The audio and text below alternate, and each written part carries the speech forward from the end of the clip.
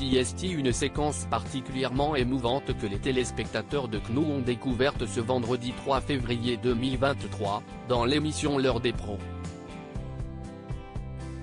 Face à son invité, Pascal Pro n'a pu retenir ses larmes en lisant un passage du livre de son invité. Patrick Chesney était à l'honneur ce matin dans l'heure des pros. L'acteur de 75 ans était l'invité de Pascal Pro pour la promotion de son livre Lettres d'excuses, disponible depuis le 2 février aux éditions L'Archipel.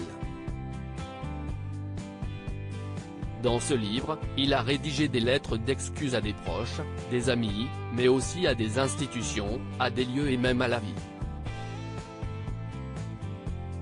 Et un passage a particulièrement ému le présentateur de 58 ans.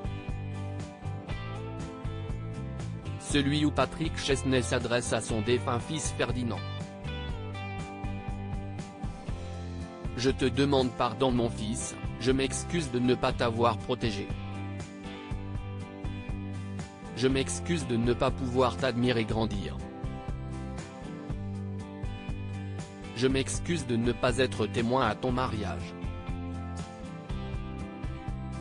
Je m'excuse de ne pas devenir le papy idéal dont tu aurais rêvé pour tes petits descendants. Même si j'aurais voulu changer le nom de papy en bon papa, en grand papa, en Patrick ou pape. Essayez d'éviter Pep, mais en vrai, je mène fou. Je te demande pardon de n'avoir pas pu profiter un peu plus de tes beaux yeux, de ton rire cascadant.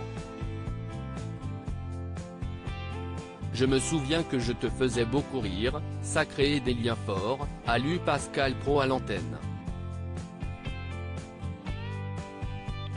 Et très vite, il a été gagné par l'émotion. Le présentateur était au bord des larmes et en a même semble-t-il essuyé une après sa lecture.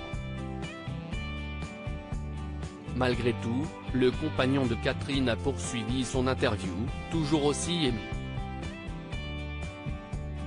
Je trouve que cette lettre, avec les mots les plus simples que vous écrivez, est émouvante, a-t-il conclu. Puis, il a marqué une petite pause afin de reprendre ses esprits, avant d'évoquer sa lettre d'excuse pour les jeunes acteurs.